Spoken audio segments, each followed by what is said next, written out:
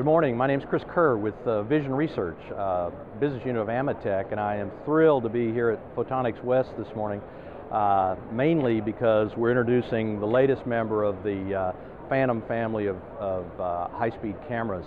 Uh, what I have in front of us here is the V2640, which is the fastest 4 megapixel camera in, in the world. Um, brand new sensor, uh, sensor that we're very, very proud of, custom of course, and uh, it's again 4 megapixel um, with throughput of 25 gigapixels per second. So it basically takes the performance of our ultra high speed cameras that have been unbelievably popular in the market, the 25, uh, 12, 2012, and down to the 1212, and it puts it into a package, but it's a 4 megapixel camera. So it's basically a very high resolution camera, but at the same time has unbelievably high speed.